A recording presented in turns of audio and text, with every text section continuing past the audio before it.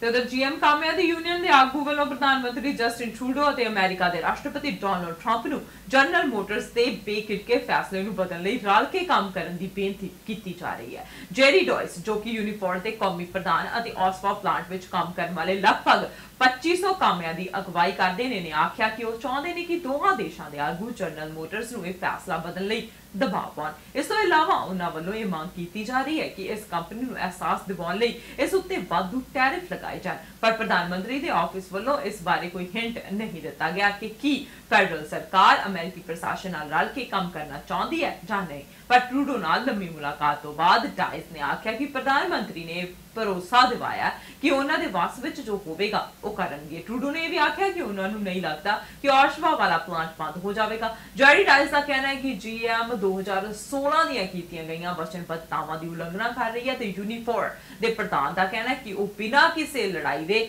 ਔਸ਼ਵਾ GM ਦੇ plant ਨੂੰ ਬੰਦ ਨਹੀਂ ਹੋਣ ਦੇਣਗੇ।